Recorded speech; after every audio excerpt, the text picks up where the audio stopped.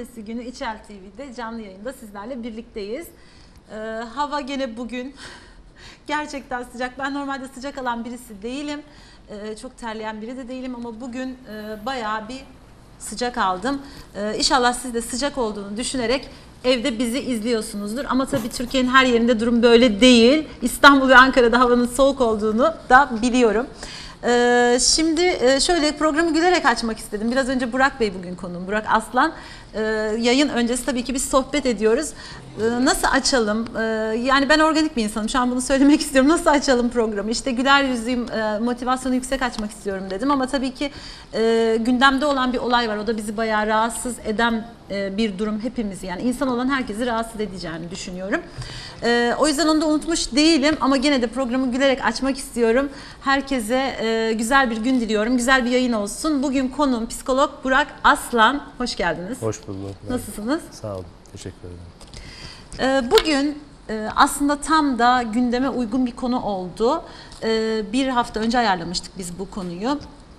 Son yıllarda çok fazla bir boşanma ve boşanma arkasında yaşanan e, travmatik olaylar, boşanamama, e, çocukların e, arada kalması, e, iki insanın psikolojisinin bayağı bir bozulması gibi durumlar olduğundan dolayı ben de bunlarla çok karşılaştığım için e, tabii ki e, danışanlarımda da çok kar- karşılaşıyorum E, ve zorlu bir süreç oluyor. E, Çocuklarla tabii genel anlamda çalışıyorum E, bu durumda eğer psikolojik tam anlamıyla bir durum yoksa tabii ki e, o zaman psikologlarla birlikte yardım alarak da devam ediyoruz.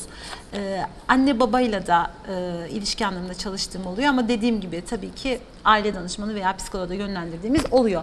İşte bu süreçte çok ilgili olduğum için e, bu zorlukları birazcık masaya yatırmayı düşündüm bu hafta için. Nasıl başlayalım? Yani e, evlilikten mi başlasak Burak Bey? Evet. Daha öncesine götürelim. Aşktan Nereye? başlayalım. Aşktan başlayalım. Peki. Ee, aşk dediğimiz şey nedir? Güzel bir şey. Ee, Siz ne düşünüyorsunuz bilmiyorum ama bazı insanlar aşka inanmıyor. Aşk yok mu? yani e, hani ona bir şey diyemem. Var mıdır yok mudur ama aşkın tanımı Sizce var mı? Elbette ki var. Ama aşk dediğimiz şeyi nasıl tanımladığımız da çok önemlidir. Aşk e, kendimi ötekinin gözünde sevilebilir olarak görme hali midir? Ha ben değerli miyim? Gel beni benim kendimi görmek istediğim yerden görüp de sevelim midir? Şimdi aşkın kökenine baktığımız zaman e, aslında aşikadan gelir. Aşika diye bir bitki var. O bitkinin özelliği de şu.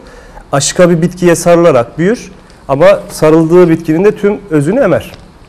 Yani baktığımız zaman şey. aslında evet bir tık da hani patolojik kulağa da biraz korkunç bir şey gibi geliyor aslında. Tabii aslında düşündüğünüzde aşk e, rahatsız yani biraz takıntılı bir duygu değil mi? E, Yani şöyle söyleyebilirim. E, ünlü edebiyatçı Robert Frost'un çok güzel bir tanımı var. Diyor ki benden çıkan, karşıda bir yüzeyi bulunca bana geri yansıyan, ancak ayaklarımı yerden kestiği için bir süre sonra benden çıktığını unuttuğum şeydir diyor. Evet güzel. Başka bir tanımı daha var, o daha komik. Bende olmayanı benden istemeyene zorla verme halidir diyor. Güzel. Bu da güzelmiş. Aslında düşündüğünüzde doğru. Ama aslında aşkı tanımladığımız zaman şunu tanımlıyoruz. Biz genelde insanlara aşık olmuyoruz. İnsanlardan talep ettiğimiz arzuya aşık oluyoruz. Biz arzuya aşığız aslında. Yani ötekinin arzusunu e, arzusuna talep eden bir varlık insan. Diğerinin arzusunda olma durumu mu? Evet yani sen bana İstenilme durumu, arzulanma durumu işte aslında. ben ne kadar kralım sen ne kadar prensessin birbirimize bunu ne kadar hissettiriyorsak ilişki öyle kotarıp gidiyor. Gidiyor mu? Gidiyor. Gider. Aslında olması gerekiyor biraz değil mi? E tabii ki yani zaten bunun için ilişki yaşıyoruz. Mesela şöyle bir cümle var, ilişki çatışması denilen bir e, tabir var ki şeydir, mantık hatasıdır. İlişki çatışmaları diye bir şey olamaz. Bu ÖSS sınavı gibi bir şeydir bu. İlişki zaten çatışma demek. Aslında çatışmak doğru, lazım. Tabii. Yani, Yani e, çatışmanın olmadığı bir yerde ya büyük bir çıkar vardır, çatışmıyorsundur ya da iki taraftan biri kendi olmaktan vazgeçmiştir, boyun eğici olmuştur. Yoksa onun aksi takdirde her zaman çatışma mümkündür. E, tabii iki tane insan var birbirinden çok farklı sürekli aynı fikri savunması, aynı fikirde olması zaten Yani. Foucault'un çok güzel bir sözü var. Bir ortamda tek bir şey konuşuluyorsa, bütün orada bütün insanlar birbirine benziyorsa Evet. o orada hiç kimse yoktur. Doğru. Ama burada da kültüre atıfta bulunabiliriz. Bizim kültürde benden değilsen ötekisin vardır. Yani biz aynı fikirdeysek kafa dar oluruz. Kalabalıksak örgüt bile kurabiliriz. Ama aynı fikirde değilsen sen benim düşmanımsın. Yani hemşehriliği başka türlü açıklayamazsınız. Adam geliyor bu memlekette Dıttırı Dıt Sevenler Derneği'ne üye oluyor. E niye? Yani hiç bö- böyle bir şey yurt dışında duyabilir misiniz? Kaliforniyalılar severler. Böyle bir şey yok. Ama bir kaygı toplumu olduğumuz için bir kliğe ait hissetmemiz lazım bizim kendimizi. Bir yere ait olmamız gerekiyor. Fenerbahçeliyim efendim, sağcıyım, solcuyum, şucuyum, bucuyum. İlla ben bir şeyimi, güvendeyim yani bir yere ait. Gibi durum vardı. Aşk da böyle bir şey. Bir yere Evet. aitim. Kalbim bir yere bir yere aitim ve bir şeye sahibim. Sahiplik de var E değil mi? tabii ki sahip Benim olma. yani. Evet, ben bana ait, benim. Ama işte e, yayın öncesinde de konuştuk ya, o iyilik eki çok tehlikelidir. Benim dediğin hiçbir şey artık saygı duyuyor, eskisi kadar saygı duymaz. O iyilik eki geçen gün işte hani bunu hemen geçelim konuda e, yayının başında başlamışken e, birkaç gün önce işte e, bir Emine Bulut vakası Evet. yaşattı. O iyilik ekinden oldu değil mi bu? Yani benim ve her şey yapabilirim. E tabii yani o eril olanın, erkeğin, o işte toplumun da erkeğe verdiği o güç var yani. Senin kadının, senin namusun, sana ait olan bir şey. Ee, insan sahip olduğunu hissettiği, benim dediği bir şeye saygı duymaz. O yüzden onu bir mal, bir meta gibi görebilir. O yüzden ona istediğini yapma hakkına sahiptir. Hatta bu hakkın çok büyük bölümünü de kadınlar verir ona. Adam kadını aldatır der ki kadın da keşke biraz daha bakımlı olsaymış da kocasını elinde tutsaymış ya. Kadın diyor değil mi? Tabii kadın kadına söylüyor bunu. Yani Nasrettin Hoca misal hırsızın hiç suçu yok yani. Yani o kadın yapmıştır. İyi davransaydı. Hep o erili savunan, erkeği savunan tarafımız biz. Değil mi? İyi davransaydı, yalnız bırakmasaydı, işte e, daha güzel, bakımlı olsaydı. Yani sonuçta hep bir kulp var bu işlere. E tabii ki Karşı yani tarafın- mesela e, kadında olması gereken meziyetler söylenir. Erkekte zaten olmaması gereken şeyler yoksa bu meziyettir. E, İçkisi yok, kumarı yok, dövmüyorsa e, bunları zaten yapmaması lazım. Yani. Olur mu? Bunları yapmıyorsa altın değerinde değer Evet. kıymetli şu anda. Yani yediğin önünde yemediğin arkanda işte kredi kartını vermiş, senin altına bir araba vermiş. Adam nerede? Ayda bir eve geliyor. Olsun ya ne yapacaksın ver. Yani duygusal ihtiyaçtan önemli değil. Ben bu noktada e, şunu söyleyeyim çok hoşuma gitti. Bir boşanma e, tutanağında var bu. Eşim benimle e, hiç iletişim kurmadan yaşıyordu. Onun için bir problem yoktu. Sonsuza kadar böyle yaşayabilirdi. Ama suskunlukla gelen bir sessiz şiddeti kabul etmek mümkün değil diye bir şey söylüyor. Birçoğumuzun evliliğinde var işte o Doğan Cüceloğlu'nun mış gibi evliliklerde tanımladığı şey. Değil mi? Evet. Evet. şu anda çok fazla evlilikte bu aslında var. Aynı evin içerisinde arkadaş misali veya hiç arkadaş bile değil, ev arkadaşı gibi birbirleriyle görüşerek. Boşanmışlar devletin haberi yok. Böyle söylüyorum ben. Boşanmışlar da devletin haberi Evet yok şu anda çok ya- yaygın olarak bir böylesi var. Evet. Bir de e, boş işte yani bir böyle sessiz devam eden var. Bir sesli boşanamamış devam edenler Evet, var. Bir de boşanmışlar var. Peki şimdi biz aşktan tepkiler hemen o tarafa doğru kayalım. Aşktan bahsettik önce. Tamam. Sonra ne oluyor? Aşk ilerliyor. Evliliğe nasıl geliyor bu durum? Daha doğrusu şöyle sorayım ben size isterseniz. Ee, Mesela burada söylemek istediğiniz bir şey varsa Evliliğe şöyle geliyor durum. İki pof kesen sahte kişiliğin birbirlerine uygun oldukları inancıyla atılan ve evlilikle beraber e, gerçekle yüzleşildiği bir safa oluyor. Neden bahsediyorum? Somutlaştıralım. Flört halindeyken Evet flört halindeyken ya sen eskiden ne güzel adamdın işte bana şiirler yazardın, çiçekler alırdın. E normal orada sahte kişilikteydi yani o adam normalde böyle bir adam değil. Ama sen o hanım sen de eskiden ne güzel prenses gibiydin hiç susardın konuşmazdın vesaire. O da sahte. aslında şey yani tabii ki Ama flört dediğinde birbirini işte ayartana kadar olan bir şey. Yani karşı tarafın hani flört dediğimiz şey de sadece bunu e, duygusal ya da cinsel anlamda da karşı cins anlamda almamak lazım. Flört dediğimiz aslında şudur. Karşı tarafın benimle ilgili olumlu fikir elde etmesi için yapmış olduğum tüm manipülatif hareketlere flört denir. yani tavlayana kadar. Aynen öyle. Erkek erkeğe de flört, entelektüel flört edersin. Nasıl? Entelektüel flört edebilirsin yani. Evet. Hani bak ben de iyiyim, ben de biliyorum, boş değilim. Budur flört. Ya genelde aslında şöyle bir şey oluyor ilişkilerde. Yani mesela kadınlarda da tabii var. Hani flört aşamasını kandırma. Ben burada şimdi hani cins cinsiyet ayrımcılığı yapmak istemiyorum. Ee, Bununla birlikte erkekler yani tavlama noktasına kadar ciddi anlamda bir uğraş veriyorlar. Tavlıyorlar. Ee, şöyle Sonra ne oluyor? şöyle açıklayabiliriz. hiç o mesela yani o sahiplik, iyilik var ya o olduktan sonra ne oluyor da artık o Hiçbir şey eskisi gibi Ötekinin olmuyor. arzusuna nail oldum artık. Kabul edildim. Tamam. Ötekinin arzusuna nail. Yani Evlenmek gerekmiyor bunun için. Yani bu flört tabii aşamasında ki da a- olabilir. aynen öyle. Yani e, doğadaki erkek türüne baktığımız zaman nedir? O hani o daha basit. Kabul edildi. O daha aslında şeydir, rasyoneldir yani o üreme amaçlıdır. Yapana kadar işte o cinsellik e, işte üreyene kadar, çiftleşene kadar ne yapar? Ku- Erkek kuş dişi kuşun önünde kanatlarını açar, parlak renklerini gösterir, öter gider ona işte böcek yakalar ağzına getiriverir. Çiftleştikten sonra iyi bak yani. Peki ne olacak o Behlül zaman? kaçar yani. Ya bunu başka bir gün aşk üzerinden konuşalım çünkü bu uzun bir konu. Evet, diyorum ya, Bunu buraya girersek çıkamayız, Aynen. çıkamayız, Ee, ama şunu öğrenip hemen buradan geçmek istiyorum. Peki o zaman oyun mu oynayacak bu kadınlar? Hep flört aşamasındaki gibi. Kadın değil, bunu, bunu cinsiye insan olarak bakın. Yani bunu kadın nerede erkek ama dersek tavlayan yanlış bir yere genelde- götürürüz. İşte cinsiyet yapmak istemiyorum ama tavlayan taraf genelde beyefendiler oluyor. Tavla, tavlamak isteyen beyefendi, tavlanmaya izin veren kadındır. Kadın istemediği sürece erkek istediğini yapsın. tamam yani kadın o zaman tavlanmayacak. Niye tavlanmasın? O, o doğanın kanununa aykırı E, bir şey sonradan yani. ama yeğlik eke geliyor ve her şey bozuluyor. Ama kadın da aynı şeyi yapıyor. Benim diyor, benim kocam diyor yani. Evimin direği diyor falan. Hani evimin direği soğuk bir şey. Sonra da adam, Söylemeyin adam hanım- hanımlar lütfen bakın evimin direği soğuk. yani şey. adam aslında bir metafor uyguluyorsun diyor. Soğuk hareket etmeyen Aslında ne orada var ne bir şey yani. E, hanımefendinin uyguladığı aslında şu. Yani evimin direği benim için çok önemli bir şey. Aslında böyle bir atasözü gibi bu gelmiş. Hani ona bir anlam yüklemek gibi bir şey. Ee, işte evimin direği dediğin Ama- şey kendimden daha fazla güvendiğim bir şey anlamına da geliyor aslında. Evet.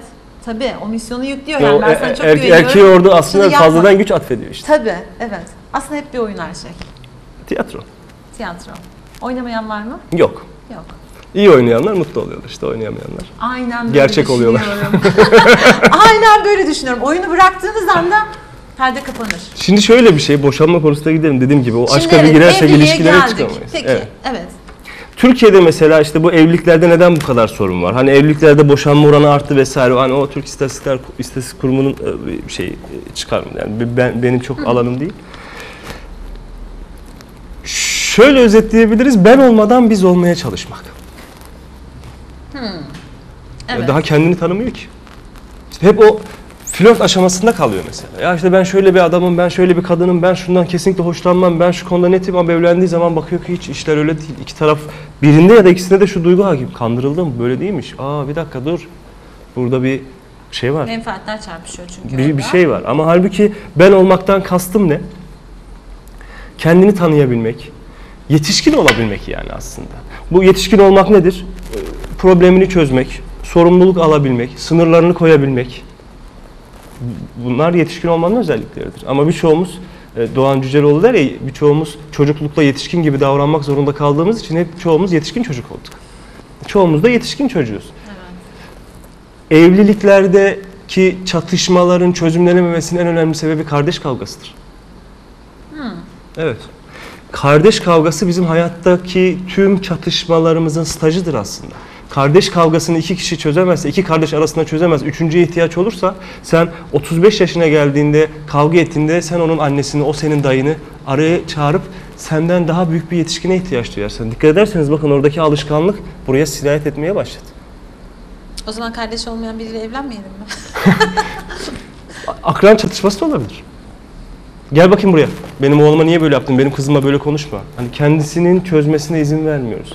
Yani küçüklükten itibaren aslında bir kişinin konuşumu, bir Evet. eee, karakter belli olması gerekiyor. Bir sorun çözme becerileri kazanılması gerekiyor değil mi? Boşuna küçüklük yani çocukluk demiyoruz aslında. Yani kişilik dediğimiz şeye ben şöyle bir örnek vereyim. Michelangelo'ya sormuşlar. Üstad sen bu kadar güzel heykelleri nasıl yapabiliyorsun? O da demiş ki ben çok bir şey yapmıyorum demiş. Yani e, taşın üzerindeki fazlalıkları kırıyorum, alıyorum. Heykel kendisi içinden ortaya çıkıyor demiş. İnsan da böyle bir şey. İşte o kırıklıklar, o kırılmalar, o karşılaşmış olduğumuz zorluklar bizim kişiliğimizi oluşturuyorlar. Evet yani Bu- Buna bakmak lazım. çözüm becerisini geliştiren bir çocuk. Yani küçüklükte işte tabii kırılmaları olan, yaralanmaları olan Mesela? ağacı budamak nedir? Ağacı sakatlamaktır, ağacı yaralamaktır. Ama oradan yeni bir filiz verir, o eski dallardan kurtulur. Bunun gibi düşünmek lazım. İnsan da işte sakatlanmış bir varlık, sakatlandığı yerden güçleniyor. Peki evlilik için e, şimdi bir reçete var mı? Hani böyle e, sürekli yazılıp çiziliyor.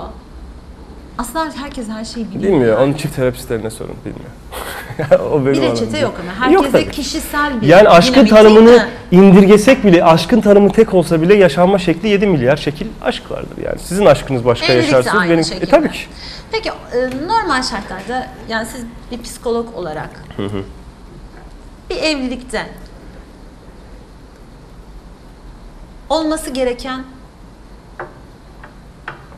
ne? Yani genel anlamda bu. Bu çok genel hani bir reçete değil de Hmm. tam olarak aslında olması gereken çünkü oradan konuyu şuraya bağlayacağım. Şimdi bir çocuksuz evlilik var. Aslında çocuğu da buraya sokalım. Çünkü boşanma ve çocuk konuşacağız biz. Ağırlıklı olarak onu konuşacağız.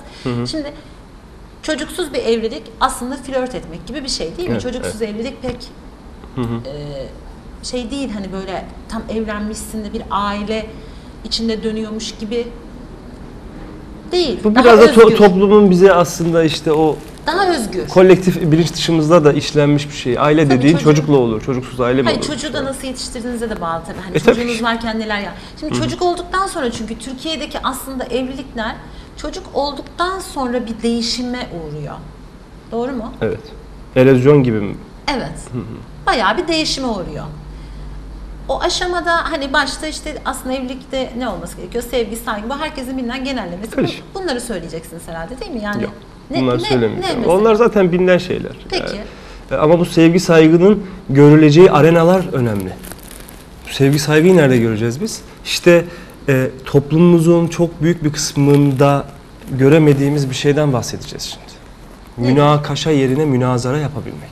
Münazara kültürümüz yok bizim. Dedik ya ben, benimle aynı fikirde değilsen tehlikelisin, düşmansın. Evet. Ve tartışmaların birçoğuna bakın. Problemi çözmek önemli değildir. Önemli olan haklı çıkmaktır.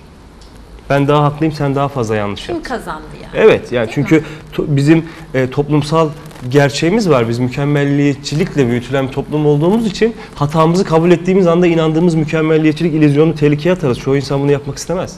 Ben hata yapmadım der. Ya da Şener Şen'in o Mahoa'daki şeydeki o bir filmde var diye kendine çok müthiş bir öz şefkati var. Evet yaptım ama bir sor niye yaptım? Ha, o, Çok değil güzel mi? Onu yapıyor. Onu yaparız ya. Tamam yaptık da bundan dolayı yaptık. Aslında çocukken e, benim hep aklım yani bana hep şey yapan böyle görüyordum mesela işte çocuk düşer sehpaya vururlar. Çocuk düşer yere vururlar. İşte animistik. e, Birini suçlarlar şey yani. Aynen Sen öyle. hani çocuk orada iyi hissetsin diye. Evet öyle. e, Ah, kendini yapalım.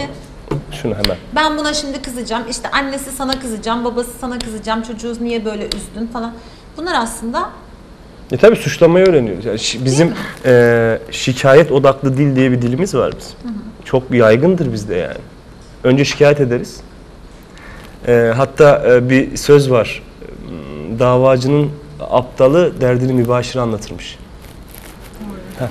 Anlatıyoruz ama kime anlatıyoruz? Hepimiz şikayet ediyoruz. Ortak şeylerden şikayet ettiğimiz zaman da birbirimizi seviyoruz. Yani şu an çok sıcak bir taksiye binsek desek ki hava çok sıcak hiç sorma abi der. Ya bu sıcakta biz de direksiyon sallıyoruz. O- O da şikayet eder. Ben derim ki ya sen ne diyorsun işte insanlar tatildeyken biz de çalıştık falan.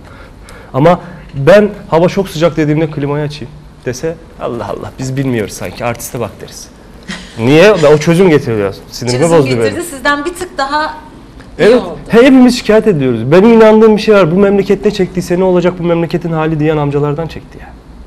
Bir şey yaptığı da yok. Sorsan şunu yapma. Ya, üf, bizden geçmiş. Biz mi kurtaracağız memleketi? Doğru. Ben de aynı bu konularda böyle düşünüyorum. Evliliklerde de böyledir. Ya işte hiç sormayın şöyledir böyledir falan. İşte bu çocuk da bizi bitiriyor. Bu adam beni hiç anlamıyor. Bu kadın zaten hep böyle yapıyor. Çözüm. Çözüm yok. Oh ortak şeyden şikayet ettim. Rahatladım. Yarına Orada- kadar bu beni kurtarır götürür Sanki buraya. psikoloğa gitmiş gibi bir terapi yapmış. Bizde de öyle bekliyorlar. Geldim Değil mi? anladım rahatladım. Ya bunun bunun için niye ücret ödeyesiniz ki? Komşunuzu çağırın bir de kısır yapın yanına bir de işte çay. Anlatın. Bu değil. O öyle. Anlattıkça rahatlıyor sadece. Rahatlama hissi. Peki evlilikte olması gerekenler deyip hemen şeye geçeceğim.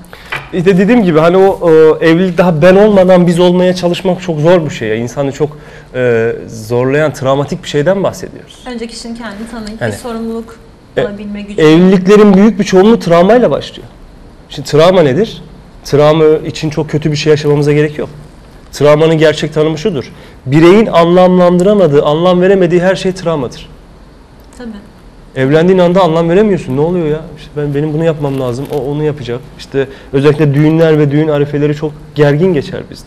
Niye? Çünkü hep var. kültürün ve anne babaların hayaletleri dolaşır. Evet. O çeyiz odalasında falan. Değil mi? Evet. Çocuk Yapılması olduktan gereken- sonra da bu iyice artar dediniz ya çocuk olduktan Ha, sonra çocuk evlilik nasıl olduktan sonra olay hadi evlenildi. Çocuğa kadar flört gibi birbirini kotardı insanlar. Aşk da var arada, tutku da var daha yeni. Bunlar güzel güzel gidiyor bu işler. Sonra birden çocuk oluyor ve e, çocuğun işte sorumluluğu var. Hem küçük ağlıyor, işte yanında yatma olayları falan. Çocuğu yetiştirirken asıl orada bir başlıyor. Türkiye'de genelde öyle oluyor yani. Ee, E, ne oluyor oralarda? çocuk doğduğu andan itibaren bir kriz ortamı oluyor. Nasıl bir kriz ortamı oluyor? Ee, eşler, karı kocalardı. Şimdi bir çocuk oldu. Bir kimlik krizine giriliyor önce. Kimlik krizine girilmesinin en önemli sebeplerinden biri de kendi anne babalarının hortlakları da yavaş yavaş içlerine girmeye başlıyor. Çünkü Hani hep şey vardır ya, flörtte sen böyle değildin, evlendin sana bir şey oldu. Neden? Flörtteyken çünkü ben mantık gereği anne babamın flört eder halini bilmediğim için kendim gibi davrandım. Flört edince annemi ya da babamı özdeşim kurduğum kimse onun gibi davranmaya başladım artık. Elinde kumandayı alan, çok konuşmayan, bana çay getir, kahve getir diyen ya da işte çorabını niye oraya atıyorsun diyen insan haline gelmeye başladım. Neden? Çünkü yeni bir kimlik krizi geliyor. Bu noktada diğer e, kısımdan bakacak olursak anne haklı olarak bebeğiyle ilgilendiği için çünkü mutlak muhtaç bir varlık. E, baba terk edilmiş hissediyor. Baba yalnız kaldı, dışlandı. Bu ilişkiden aforoz edildi. Yani Güzel bir boşluk var. evet. O duygusal ihtiyaçlarını, taleplerini de eğer dile getirmediyse de o ciddi anlamda krize dönüşmeye başlıyor. Önce e, anneye sonra da çocuğa bir öfke başlıyor yavaş yavaş. Bu geldi işte bak bizi ne hale getirdi gibi. Sustur şu çocuğu. Bu- Bunlar olmaya gibi şeyler oluyor. Gibi. Peki eee, bunlar kotarılamazsa zaten olay işte yavaş yavaş şey Yani oluyor. Şimdi kotarılabilir. Aslında bunun geçici bir dönem olduğunu bilinmesi lazım. Hani insanlara verebileceğim naçizane tavsiye. Bu geçici bir dönem. Hepimizin yaşadığı bir şey. Bu geçici bir dönem geçecek. Çocuk biraz daha büyümeye başladığında zaten o kadar eskisi gibi o yapışma ya da o e, temel ihtiyaçlarının dışında o kendi zaten o bağımsızlığa geçme, işte o kucağı reddetme vesaire aşamalarına geçecek. Bir tık daha sabırlı olmakta yeter fayda ki var iki yani. kişi aslında kendini önce bir bilmiş E, olsun. tabii ki. Değil mi? Peki o zaman bugünkü şeye geçelim. Boşanma aşamasına nasıl gelinir bir evlilikte? Yani boşanma aşamasına nasıl gelinir? İki tarafında birbirine olan e, pasif öfkeleri din aslında nihayetinde olan bir şeydir. Nasıl? Neden bahsediyoruz? Yani bana birkaç tane mesela neden sayabilir misiniz boşanma nedenleri? Ee, bir duygusal terk edilmişlik. Peki. Ee, ikincisi ekonomik krizler işte hani. Var Ee, şu aile an. içindeki o ekonomik Evet. e, krizler olabilir. Üçüncüsü senin ailen benim ailem. Bu da çok yaygın. Peki. Dördüncüsü e, narsisizm. Beşincisi sosyal medya. Bence o birinci sırada. Şu an sosyal medya ve e, yazışma grupları birinci sıra diye düşünüyorum ama bilmiyorum siz tabii. Altıncısı e, kayınvalide ile yaşamamak. Yaşamama isteği mi? Yaşamamak. Yaşamamak. Hı hı, anlatırım onu. Peki. Absürt bir yerden bağlayacağım ama hani eski ilişkilerden diyor da eskiden işte boşanma olmuyordu efendim şimdi niye oluyor? Tabii şey de sayabiliriz hani onlar artık klişe olduğu için söylemedim işte kadının ekonomik olarak daha da güçlenmesi falan. Yani onlar artık Aa, ama bu, bu benim pek de bilmiyorum ne kadar etkili. Doğru. Hala çok iyi kocasından bile daha fazla kazanıp da e, bitirmesi gereken bir evliliği devam ettiren kadınlar var. Bunu nasıl Var. açıklayacağız o zaman? tabii ki. Yok. O değil. Şiddet yok mu? E, şiddet var. O, onu diyorum ya bunlar artık çok bilinen şeyler. Bunları Ben senin aldatma yok mu? E, Var. Bunu da söylemiyoruz. Bilinen diye mi? Evet. Yani bu- bunlar zaten hepimizin bildiği yani. Kime sol, sokaktaki insanı çevirseniz e, o zaten ilk üçünü sıralar yani. Peki. e, Ama genelde şiddet bitirmiyor. şiddet bitirmiyor. İçine şiddet bitirmiyor işte.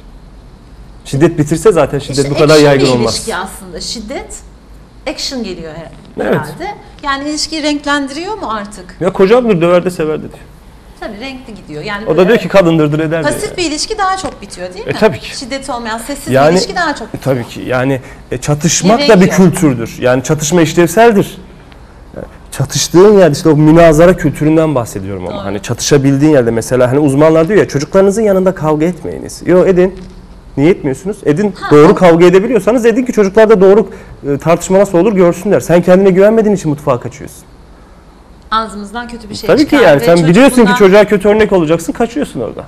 Sonra da bunu gururla anlatıyor hocam biz yani eşim de aynı beni destekleyecektir. Biz çocuklarımızın yanında hiç kavga etmeyiz. Aslında e, etmek gerekiyor E değil tabii mi? ki etme. Ya. Yani Çocuğun görmesi lazım. Ha demek ki böyle nasıl tartışılır. bir münazara, nasıl bir tartışma yapılıyor onu bir görmesi gerekiyor.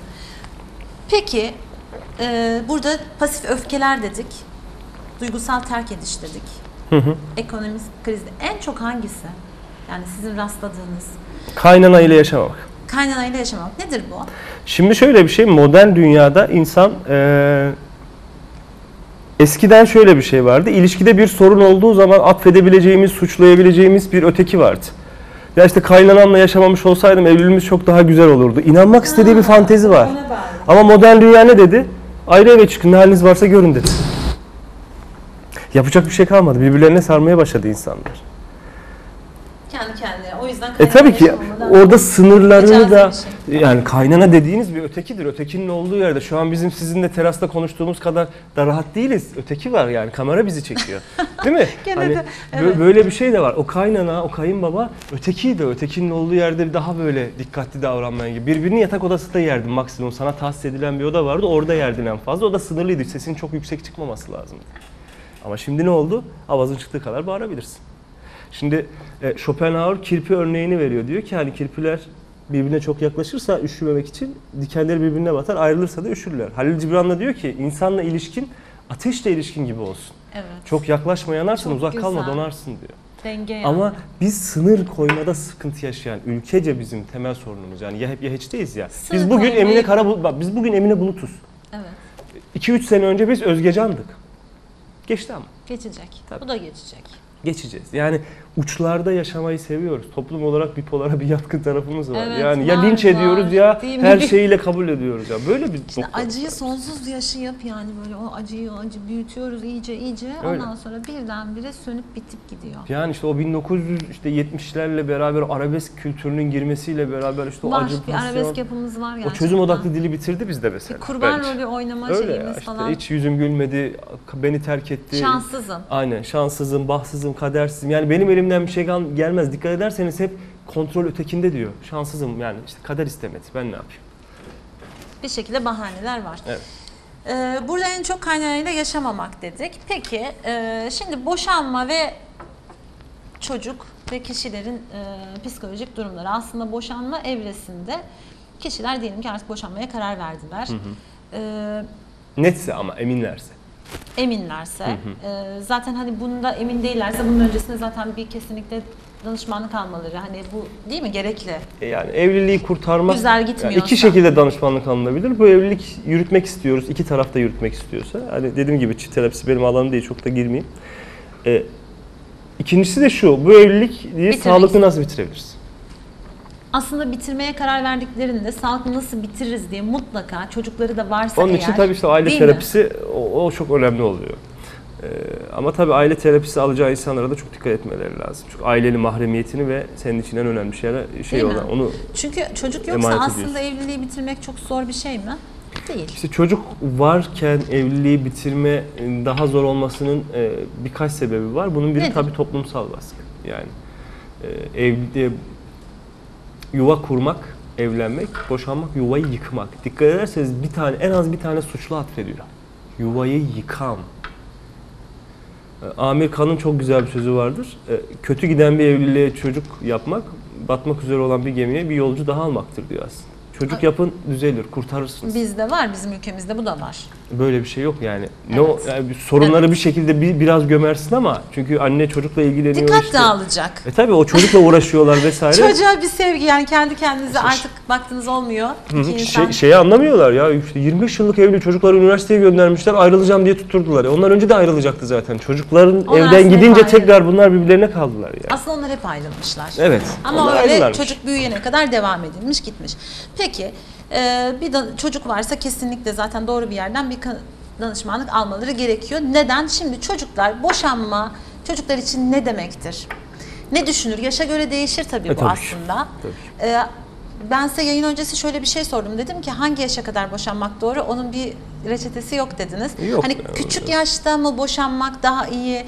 Ergenlikte çünkü ergenliğin verdiği bir, tra bir travma demeyeyim de yani bir farklı bir kafa var. Onun üstüne bir de boşanma çok farklı bir e, hal alıyor. Büyümesini beklemek gerçekten doğru mu? Bazı aileler büyümesini bekliyor. Doğru mu? Ee, Çünkü travmaya giren bir çocuk oluyor. Yani boşanmada travma yaşanıyor mu? Bence bu, yaşanıyor. bu ebeveyne bağlı. Ebeveynlere bağlı. Evet ama e, hani her şeyi düzgün yaptınız. Çocuk çok duygusal veya çok takan, Bu sakin yaşar mı? Kişiye göre değişmez mi aslında? E tabii yani bu gerçekliğe adapte olmasıyla alakalı. Çocuğun psikolojik metanetiyle de alakalı bir durum. Yani anne baba bu anlamda çocuğunu kadar desteklemişler. Yani şuradan Nasıl başlayayım. destekleniyor bu ya? Evet buradan bir başlasanız. Şu- şuradan başlayayım. Ee, çocuk ilk başta anne babayı bir bütün olarak kompakt görüyor. Yani anne baba ben işte biz aileyiz. Evet. Hmm, tabii daha çok egosantrik o ben merkezci yapısı olduğu için çocuk e, bir olay karşısında bunu sadece boşanma olarak söylemeyelim. Bunu genel anlamda söyleyelim. E, Bir olay karşısında bir çıkarımda bu- bulunmak için kendini kullanır. Evet. Yani anne baba kavga ederler. Gelir der ki tamam e, ben bundan sonra yemeğimi yiyeceğim boşanmayın der. Yani ayrı kavga etmeyin der. Hani dikkat ederseniz her şey benimle ilgili. Hani ben yemek Çocuk yemeden önce kendini suçluyor yani bu boşanmada Evet. değil mi? Yani- Kaç yaşında olursa olsun böyle mi? Yani o Genelde. alemistik il- ilkel düşünce yapısı. İlkel atalarımız da öyleymiş ya işte gök gürlermiş. Aman tanrıları kızdırdık hani. Doğanın bir parçası değilim. Doğanın muhatabıyım sanki ben hani. Ben yaptım.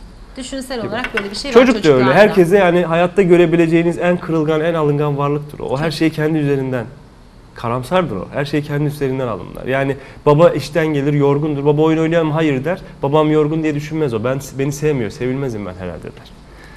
Buna dikkat etmemiz lazım. Çocuktur anlamaz cümlesini duyduğum zaman çok öfkeleniyor. Yani çocuk anlamaz. Hocam daha 5 yaşında anlamaz. Kaçta anlamasını bekliyorsun yani? Çocuğu nasıl Anlar. küçümsüyor Allah Anlar, anlar. Kesinlikle anlar. Peki e, genel anlamda hiçbir çocuk anne babası ayrılsın istemez zaten. İkisini Elbette bir arada görmek istiyor. Bir de çok enteresan 20 yıl önce boşanmış bir çiftin e, çocuğu hala umutlu. Bazen. Olur ya belki de tekrar birleşirler. Ha, onu da soracağım. Çocuk her zaman birleşeceklerini düşünür mü? Bu anne Düşünür. babanın netliğine ve sınırları koymasına bağlıdır. Mesela e, ne kadar doğru bilmiyorum.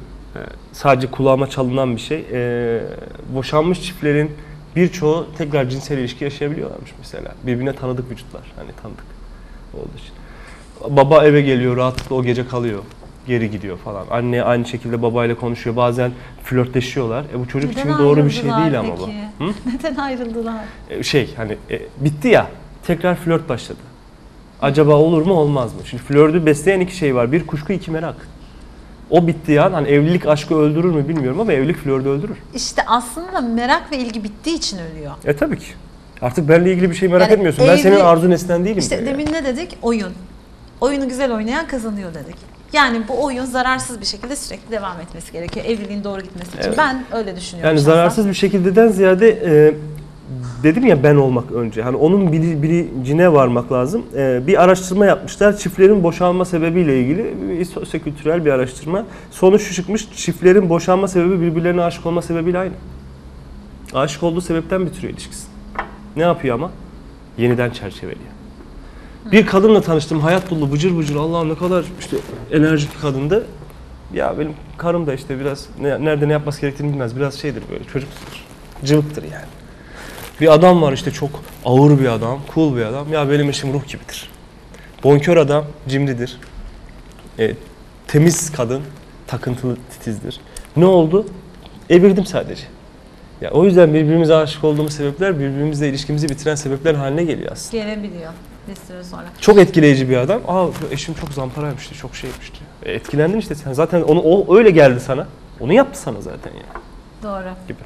Kesinlikle doğru. Peki e, çocuğa gelelim tekrar. Şimdi boşanma sırasında anne ve babanın e, ne yapması gerekir? Öncelikle Sağlıklı boşanma kararını boşanma. net bir şekilde belirlemeleri lazım. Çocuğa net neden boşandıkları net söylenmeli mi? Evet anlayabileceği kadar mahrem detaylara da girmeden e, ama anne ve baba mümkünse ki mümkün olması için de mümkün oldukça gayret göstersinler beraber söylenmesi lazım. Ama şimdi mesela Ve doğru da öncesinde de mutlaka 2-3 kere prova yapılması lazım. Çünkü beklenmedik yerden soru gelir. Baba ben geçen gün seni bir teyzeyle gördüm ondan mı boşanıyorsunuz der mesela. Hık dedi kalır kalır. Çocuk bunu bilmeli mi mesela? Bilmeli. Hani Eğer işte bundan sonra onunla mı yaşayacaksın dediği zaman eğer yaşayacaksa evet demeli yani. Evet. Evet bundan sonra onunla yaşayacak. yani boşanma sebebinin bu olduğunu anne veya baba hani başka bir üçüncü bir şey varsa bunu söylemeli çocuğa. Mesela şöyle bir şey var. Konuyla belki bir tık alakasız ama e, bir yandan da alakalı. E, anne işe gidiyor. Çocuk giderken ağlıyor. Gitmesin istiyor. Çocuğu böyle birisi oyalarken anne kaçıyor. Sırf çocuk ağlamasın diye. Çocuk ondan sonra diyor ki ya diyor bu çocuk bana yapışmaya başladı. İyi de sen o çocuk ağlamasın diye en kıymetli duygusu olan güveni aldın ondan. Tabii. Yani çocuk diyor ki ben annemin yanından ayrılmıyorum. Bu kadına güven olmaz diyor. Ben arkamı bir dönüyorum gidiyor bu diyor yani. Doğru doğru. Ona bakmak lazım. Aslında o, orada o an idare edilen bir durum. Yani o çocuğu o an işte anlık çatışmadan kaçmak ya da onu kotarmak için çocuğun size olan güven duygusunu zedelerseniz o çok sıkıntılı bir şey. Peki iki taraf farklı bir şey söylüyorsa boşanma sebebi. İşte onu güven gitti. Evet yani hangisine inanacağım? Yani annesi diyor ki ah yavrum ah diyor baban, ah şu baban diyor. Şöyle şöyle şöyle yaptı diyor. Baban da babası babaya diyor baba diyor sen böyle mi yaptın diyor. Anneye güveniyor orada. Baban diyor ki, babası da diyor ki annene sordun mu şu şöyle miymiş peki? Onun hakkında ne söyledi sana diyor. Bir dakika şimdi ben kime güveneyim? Ortada kaldım diyor çocuk. Ne yapacağım şimdi? O da bir şey söylüyor, bu da bir şey Çok söylüyor. zor bir aşama. Evliliğin E, tabii bence en zor e, bölümü boşanma Evet çünkü e, e, durumu. boşanmak üzere olan çiftler e, verdikleri kararın doğru olduğunu kendilerine kanıtlayabilmek için en öfkeli tavırlarını sergilerler. Karşı tarafı da kışkırtırlar. Karşı taraftan bir şey gelir gördünüz mü iyi ki boşanmışım bak gördün mü bu insanla yapılmaz der. Kendilerini haklı göstermek Aynen için. öyle. Doğru, Kendi mi? işlerinde tutarlı olabilmek için. Çünkü işte Sezen Aksu'nun bir şarkısı var ya ben bu yüzden hiç kimseden gidemem gitmem diyor. O ayrılmak gitmek büyük Sizin bir bu karardır. olayları bağladığınız cümleler, e, yazarlar, şarkılar o, o kısma bayılıyorum gerçekten. O, o git, gitmek zor bir şeydir. O yüzden de şey yapar mesela e, çoğu insan gitmez ama karşı tarafın gitmesi için elinden geleni yapar. Kendini sabote eder. Sorumluluğu almıyor E tabi çünkü. kendini Değil mi? sabote eder. Gittiği zaman da nereye gidiyorsun der. Ya niye gidiyorsun ki biz iyiydik. Halbuki içten içe güle güle diyor. demiş oldu. Peki çocuk tekrar gelelim boşanma aşamasında. e, şimdi çocuklar çok arada kalıyor. Kalmıyorlar, bırakılıyorlar. Evet. Cümlemi değiştiriyorum. Arada bırakılıyorlar. Çekiliyorlar yani. Bir anne tarafı, bir baba tarafı. Tercümanlık, elçilik yaptırılıyor. Elçilik yaptırılıyor. Ee, bu süreçte yani anne ve babanın en çok dikkat etmesi gereken E, şimdiye kadar defalarca yapmış oldukları istismarı durdurmalar lazım. Nasıl? İstismar kelimesinin cinselden bahsetmiyorum. Genel anlamda istismarın tanımında şu vardır. Bir bireyin kendi çıkarları ve ihtiyaçları doğrultusunda karşı tarafın zaaflarını kullanmasına istismar denir. Bu psikolojik, bedensel, ekonomik, duygusal istismar olabilir. Sor bakalım, git bakalım babanın evine biri geliyor mu? Annenin, annen işte bak bakayım bugün nereye gidecek? Tür bilgi alma. Tabii ki sen çocuğu orada arada ne yapıyorsun? İstismar ediyorsun. Kendi çıkarın için kullanıyorsun çocuğu. Laf taşıtıyorsun yani. Öyle. Sorduğu zaman aman ne yapayım? Ya da çocuğu sopa olarak kullanıyor. Eşinin canını acıtmak için yani e, eski eşini cezalandırmak için çocuğu göstermiyor mesela. Bu önemli. Çok fazla.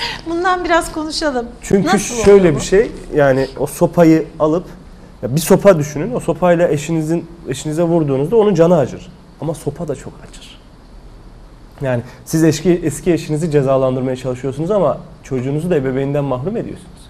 Ve siz eski eşinizden bahsederken o ebeveynini dinliyor. Eski eşinizi dinlemiyor sizin. Ben e, şöyle bir şey sormak istiyorum. Geçen bir e, seansımda bir e, veli, bir baba ve bir kardeşi babanın şöyle bir cümle kullandı. Şimdi çocuklar anne ve babaya kaç yaşına kadar ihtiyaçları? Önce bunu duymak istiyorum sizden bir psikolog olarak. Yetiştirilme tarzında bağlı 60'a kadar duyabilir. 70'e ölene kadar duyabilir yani. Normalde kaça kadar duyar? Normal kelimesi insan söz konusu olduğunda çok şaibeli. Ya yani. bir insan anne ve babasına Bu bizim her yetiştirilme ihtiyaç- tarzımıza bağlı bir şey. yani. Şöyle neye ihtiyaç duyduğuna da bağlı. Yani ben duygusal anlamda. İnsan her zaman sevilmeye ihtiyaç duyan bir varlık. Arzulanmaya ihtiyaç duyan bir varlık. Ee, ana rahmindeki rahatlığa ihtiyaç duyan bir varlık. İşte insan e, eksik olan ama neyin eksik olduğunu bilmeyen o eksikliğin yerine de sürekli nesne atayan bir varlık. böyle olursam işte bir yayına çıkar, bir televizyona çıkayım başka bir şey istemiyorum. Profesör olursam, zengin olursam, başarılı olursam, seksi olursam, işte e, ünlü Ama olursam. gene istiyor. E tabi yani diyor ki bir kitabım olsun başka bir şey İhtiyaç dolu. istemiyorum diyor. 10 yıl sonra bakıyorsun ki 5. kitabın baskıya yetişmediği için stresli. Çünkü bitti o ihtiyaç artık. Yani insanın tam olduğu tek bir an vardır, öldüğü andır. Değil mi? Yani boşluğu olan nesneler hareket edebilir. Onun dışında nesne hareket etmez. Hatta elementlerin bile birbiriyle e, o aktivitasyona girmesi için birinin doymamış olması lazım. İkisi doymuşsa girmez onlar. O zaman bu ihtiyaç hep var. Peki Hep var. 13-14 yaşında bir çocuğun anneye ve babaya ihtiyacı var mıdır? Elbette vardır. Ergenlerin her zaman e, yönlendirilmeye ihtiyaçları vardır. Ki zaten e, aileye isyan etme, sık hata yapmasının sebebi de aslında bastırılmış gizli bir yardım çığlığıdır. Bana rehberlik edin. Benim sınıra ihtiyacım vardır mesela. Bunu der aslında ergen. Mesela şımarık çocuk dediğin çocuğun iki özelliğinden bahsedebiliriz. Bir sevgiyi işleyemeyen çocuk. İkincisi durması gereken yeri bilmeyen çocuk. Hepimiz her her zaman rehbere bir ihtiyacı vardır.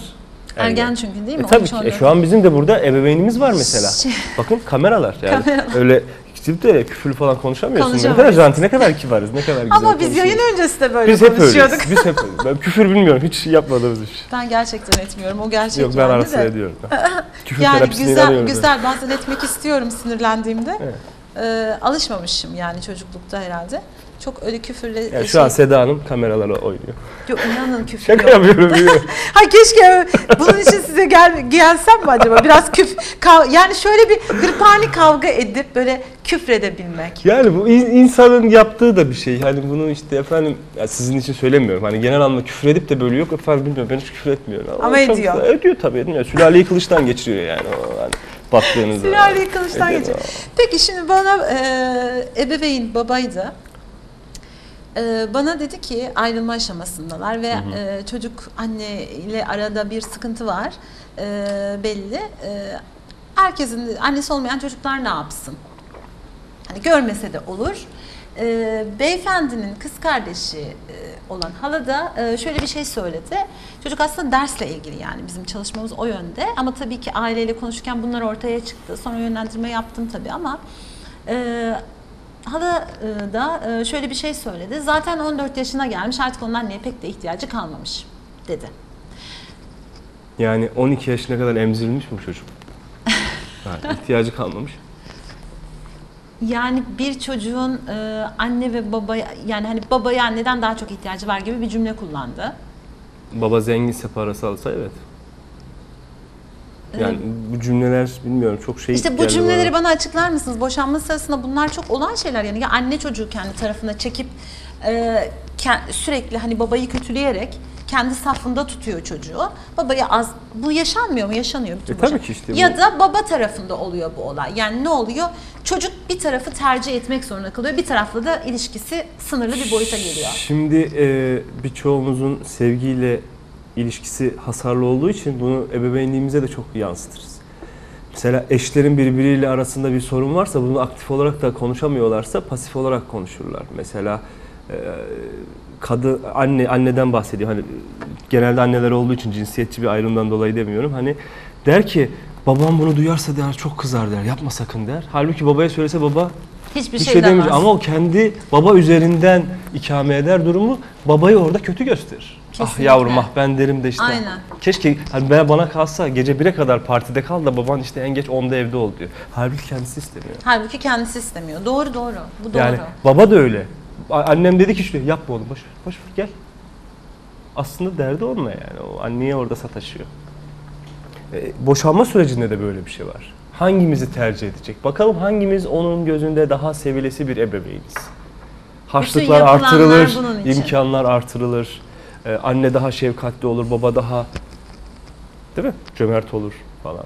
Aslanım benim canım, canım, canım. Ah, ah, ah, ah şu annen, ah şu baban. Gerçekten düzgün bir şekilde olan var mı? Vardır Tam canım dengede. Yani var, vardır, vardır. Peki çocuk buradan nasıl etkileniyor? Ya tam dediğimiz bir şey yok zaten ama hani şey yok. mümkün mertebe işte çocuğun bu süreçte hani duygusal olarak istismar etmeyen çocuğun e, süreçle ilgili ne yaşayacağına dair ona önceden bilgi verip anlamlandırmasına dolayısıyla travmadan koruyan ebeveynler vardır yani. Peki e, bu e, süreçte işte e, tabii ki hani çocuğun kimle kalması durumu, velayeti. Burada anne ve babayla ilgili ne söyleyeceksiniz? Yani burada çocuğun asıl hani hakikaten en çok kime ihtiyacı var? Bu süreçte. Bu çocuğun ebeveyniyle girdiği ilişkiye bağlı ama o biraz daha işte hukuksal bir şey. Yani o, o hani adliye psikologlarının sanki daha konuştuğu mahir durumlar. olduğu bir konu Peki, gibi geliyor bana. çocuğun e, ileride sonuçta şöyle bir şey var hani bu Hani hukuk bizim psikoloji gibi işlemiyor. Hukukta çok farklı, Farklı şeyler işliyor. var. Şimdi demin dediniz ya işte anne şöyle davranır baba kendine çekmeye çalışır anne kendine çekmeye çalışır. Peki çocuk burada ne hissediyor ve ileriki durumlarda çocuk için yani boşanma sonrasında gelecek hayatı için çocuğu bunlar nasıl etkiler? Yani iki şekilde etkileyebilir. Birincisi o suçluluk duygusundan dolayı içe kapanıp ya da aktif bir şekilde anne babaya savaş açabilir. İkincisi de bunu Yanlış çıkarları... davrandığı için mi? Evet. İkincisi de çıkarları doğrultusunda anne babayı sömürebilir.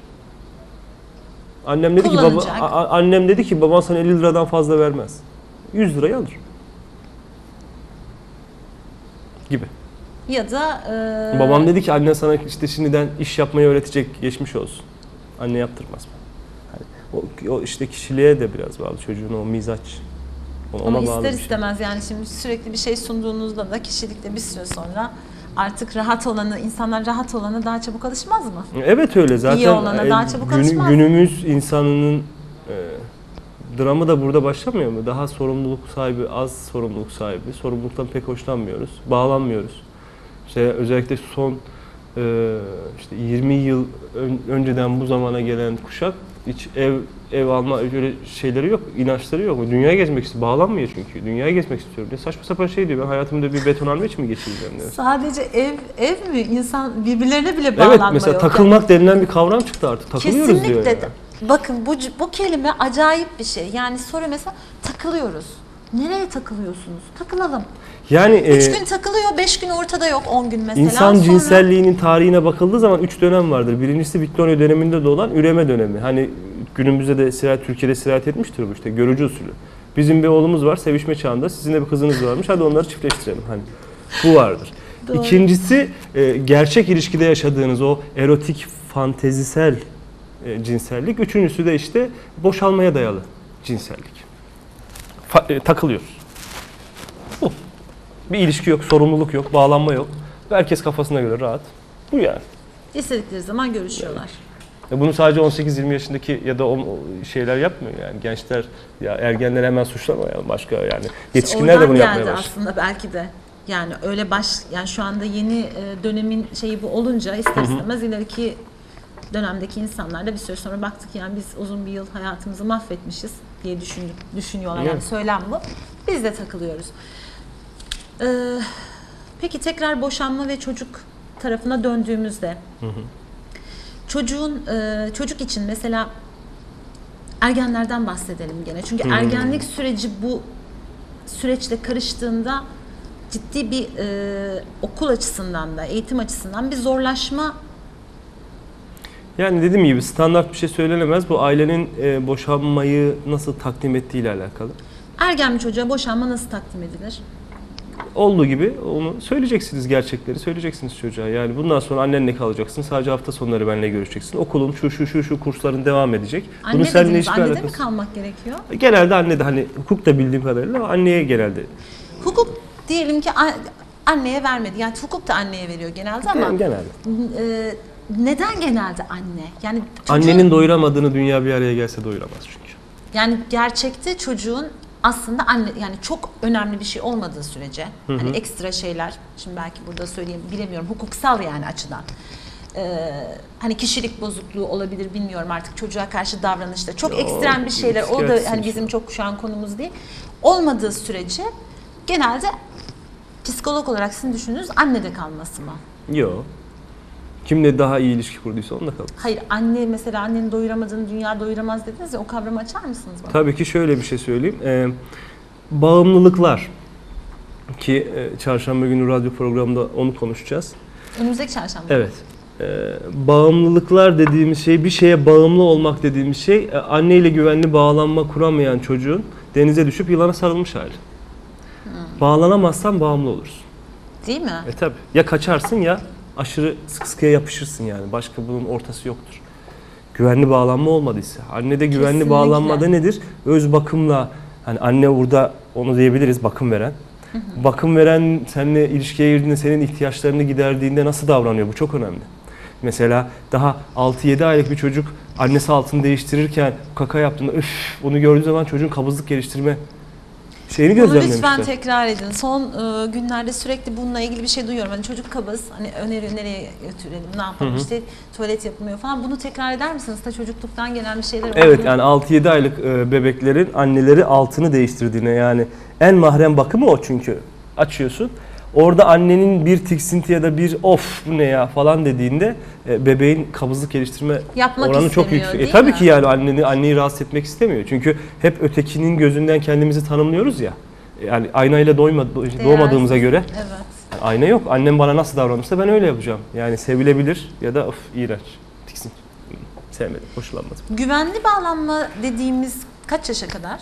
Ee, yani o, o çok değişiyor. İşte 18 aya kadar diyen var, 24 diyen var, 3 yaş diyen var. Yani bu, bu değişiyor. Onunla alakalı çok net bir şey yok. Yani psikolojide çok bu Güvenli anlamda net bir şey yok. bağlanmanın olmadığı yerde ya kaçma ya da sıkı sıkıya bağlanma. Zamanımız var mı bilmiyorum. Çok kısa bir deneyle açıklayabilirim. Evet açıklayalım. Ee, üç çeşit bağlanma tarzından bahsedebiliriz. Kaygılı kararsız, kaygılı kaçınan, güvenli bağlanma.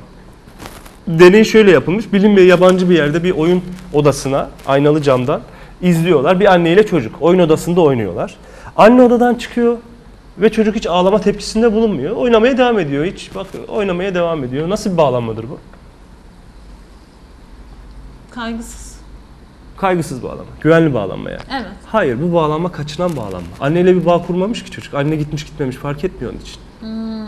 Anne gidiyor, geliyor, bakıyor, umurunda değil. Çocuk oyun oynuyor. İyi bir şey midir? Değildir. Ka- kaçınan bağlanma dediğin şey bir bağlanma figürüne ihtiyacımız var. İhtiyaç. İlerleyen yaşta da işte o e, e, şeyler, ıssız adamlar falan onlar kaçınan bağlanma. Adam bağlandığını hissettiği gece kızı bıraktı. Yani kız ne, ne yapacağını anlamadı. Travmaydı onun Korkudan. için. Evet, Korku. bağlandığını hissetti çünkü. Kız da bunu bu travmayı anlamlandırabilmek için adamın doğduğu eve falan gitti. Hani Evet onu bir o Onu şeyi tanımaya çalıştı güven- yani. Issız adam güvensiz bağlanmadan kaynaklı. Anne Ay- gitti ve, ve umursamıyor, umurunda değil. Ee, Kreşlerde de görürüz. Anneler çok bozulur bu duruma. Çocuk içeri girer, anne içeride mi değil mi? Umurunda olmaz. Gider mesela. Anne çok de bozulur. hiç Dertlenir önemsemiyor. Evet. İkinci bağlanma tarzı e, kaygılı, kararsız bağlanmadır. Anne dışarı çıkar, çocuk ağlar. Bu sağlıklıdır. Ağlaması lazım. Yabancı bir ortam çünkü. Değil mi? Ee, anne tekrar odaya girdiğinde çocuk şunu yapar. Anneye koşar, yapışır. Anneyi gördüğü halde sakinleşmez. Anneye hem yapışır hem tekmeler. Ağlamaya da devam eder. bağlanma. O kar- kaygılı, kararsız bağlanmak. Yani e, sakinleşemiyor.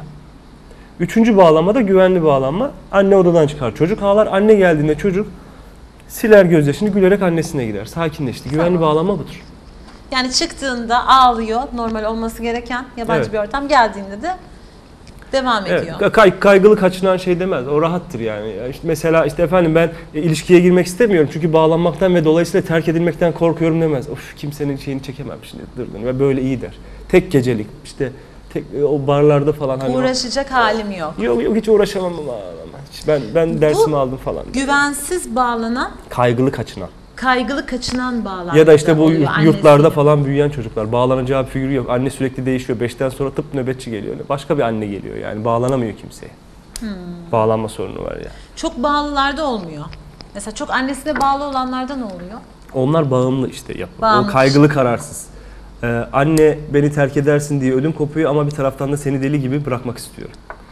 Türk insanında mesela kaygılı kararsız bağlama çok fazladır. Çok. Genelde de kaygılı kararsız iki insan birbirini bulur. Eks aşkları böyle açıklayabiliriz. Uzatmalı sevgililer. Ayrıl barış, ayrıl barış, ayrıl barış. Tamam bitsin. Defol.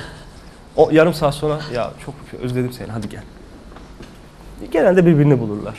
Güvenli Evet. bağlanmaya bunu yapamaz. Afallar. Ben geçen Instagram'da paylaştım. Bir ilişkiyi başlatmak için iki çocuğa, bitirmek için en az bir yetişkine ihtiyaç vardır. İşte o yetişkin de güvenli bağlanması olan, hani kendini istismarda durdurabilen kişi aslında baktığımızda. E, tabii mantıksız geliyor çünkü. Yani ne yapayım? Yani ne oluyor? Burada neler oluyor? Biz de herhalde ilişkilerle ve aşkla ilgili bir program bir yapacağız. İlk program oraya yapmamız gideceğiz. lazım çünkü oraya sürekli gideceğiz. oraya doğru Evet, gidiyoruz. aynen. Peki e, tekrar çocuk kısmına gelmek istiyorum. E, şimdi çocuğun boşanma gene boşanma sırasında başta mesela anne baba boşanmaya karar verdi. Ama boşanamadılar. Süreç uzadı. Şimdi burada nasıl bir ne yapmaları lazım bu aşamada? Bu, bu sürecin neden uzadığını çocuğa dürüstçe anlatmaları lazım. Yani çocuğa yine bir travma olmasını engelleyecekler. Çünkü acaba annem babam boşanmaktan vazgeçtiler de bir daha mı deniyor diye düşünmeleri, yani o çocuğun düşünmemesi lazım. Bekleyecek belki çocuk. Evet değil mi? yani şu bir böyle böyle biz boşanmaya karar verdik. Seni çok seviyoruz ama biz boşanmaya karar verdik. Ama e, işte mahkeme böyle böyle böyle dedi. Bunların olması lazımmış. Bundan sonra süreç uzayacak ama süreç değişmeyecek. Eninde sonunda olacak. Ee, peki yani oradaki her şeyi mi anlattın? Yani çocuk her, Her şey şeyden- değil. Onu istismar etmeyecek mahremiyet hariç. Biz anlaşamıyoruz. Gördüm. Çünkü Yetişkinler de birbirleriyle orada anlaşamazlar. evet mahkemede hani süreç uzadı ve orada bakılıyor işte çocuğa her şey anlatıldığında bu sefer çocuğun kafasında farklı bir yani çünkü iki kişi arasında olan bir takım şeyler var. Hukuki olan her şeyi de çocuğa anlatmak gerekir mi yani? Her şeyi eğer çocuğa anlatıyorsanız bunun iki tehlikesi vardır. Birincisi biraz önce bahsetmiş olduğum çocuğu istismar edersiniz. İki anlatacak demek ki başka kimseniz yok. Yalnızsınız siz. Dertleşeceğin kişiyi çocuk seçtiysen, çocuğunu dertleşecek kişi olarak seçtiysen arkadaşın yok demek senin. Değil mi? Çocuğun bilme yani yaşı kaç olursa olsun Hiç onun bilmesi Hiç gerektiği kad- yani bilmesi gereken var. Gere- Çünkü neden o süreçte e, mesela çocuk böyle süreçlerde anne ya da babayı bir tanesinin tarafında ve birini suçlayacak. Öğreniyor genelde. Genelde. Genelde, biri, bir, bir ebeveyninin diğerine olan öfkesini satın alır. Baban bizi Nasıl aldattı. Baban seni aldatmadı. Baban anneni aldattı. Senin babalığınla ilgili bir şey yok. Babam bizi aldattı der ama mesela. Peki Gibi. gibi e, bunu yapmaması gerekiyor. E tabii ki yani evet babam beni aldattı. Anne babam bizi aldattı mı? Hayır babam beni aldattı. Onun babalığıyla alakalı seninle ilişkisinde bir sorun yok. Beni Veya aldattı. babam bize Hani ayrış kötü dav- benden yani. Yani ya da mesela işte babam bize çok kötü davranıyordu. E, işte Bize, bize. bize, hep biz yani biz biz daha doğmadık yani kordon bağını anneler- kesmeyi unuttular. Anneler genelde taraf seçmeyi Sana yanına almayı düşünüyor çünkü kendini daha mağdur hissediyor. Çünkü toplum da onu öyle hissettirmiş ya. Mağdursun sen, mağdursun sen, mağdursun. yani kendi babaya karşı öfke duyuyor. Çocuğa da işte e, senin baban zaten böyle diye e, söyleyerek bu sefer ne oluyor? Bayağı bir Halbuki babasından bahsetmiyor. Orada bakın kimlik kargaşası var. E, İyi bir eş, iyi bir baba olmayabilir. iyi bir baba, iyi bir evlat olmayabilir. Olmayabilir, Evet. Yani evet. Babalığı belki de Bunlar gerçekten çok farklı. iyidir yani. Bu kızıyla ya da oğluyla ilişkisi çok iyidir ama iyi bir eş değildir. Olur. Denk gelmemiştir yani. Uymamışlardır birbirlerine. Peki hani şey e, doğru mudur? E, diyelim ki çocuk yorum yapmak istemiyor. Hani bab şimdi görüyor işte annesine kötü davrandığını gördü. Tüh nankör senin gözünün önünde oldu görmedin mi sen? Yazıklar olsun sana. Yani çocuğun objektif kalmasına da izin yok. Ya da işte benim Psikolojik baskı çocuğum var zaten akıllı. Hani ne yapacağını bilir. O her şeyi gördü. O her çok şeyi güzel gördü. gördü her Ha. şeyi. Anlatmama gerek yok. Anlattın sen çok şeyi. Sonra bir de şöyle tipler vardır. Ee, ebeveynine diyeyim hani kadın erkek diye ayırt etmeyeyim. Ee, provoke eder. Ah ah neler yaşadık falan filan. Sonra çocuğu işte eşiyle alakalı bir şey. "Şşt, o senin işte ebeveynin, o senin annen, o senin baban. Öyle konuşma. Yanında niye söylüyorsun? Duyması için söylüyorsun aslında. Ha, Ama aynı zamanda yanında da yok kendisi. e tabii ki o iyi ebeveyn pozundan da vazgeçmiyor işte ben "Aa, şşt, sen söyleme ben kızıyorum. E yanında söyleme o zaman. Her şekilde bir travma yaşıyor çocuk. Evet.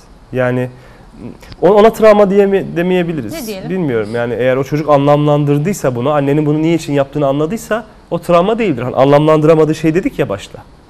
Ha annem bunu aslında bunun için yapıyor diyorsa travma değildir ama ben herhalde büyük bir ayıp ettim.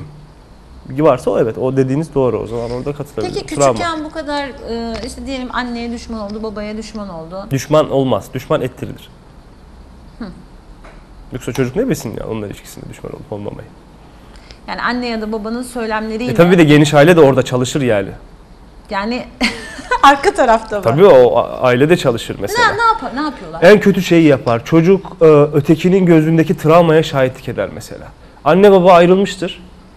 Çocuk için yani şeyde açıklamalarını da yapmışlardır. Ama e, büyük annesinin gözünde şunu görür. Yavrum bir dakika acınacak bir şey var. Ben acınacak durumdayım. Kötü bir şey var. Bana yalan söylediler. Yani ötekinin acısını görüyor. Ötekinin gözündeki travmayı görünce de orada yani kendi büyük anne şey çocuğuna acıyor. Evet yani o üzülüyor hani o ama ayrı çocuklar hep acıdılar. Ah işte, ah, ana. evet çok kötü durumda baba ya da anne. Ee, çocuk da bunu görmüyor, umru değil.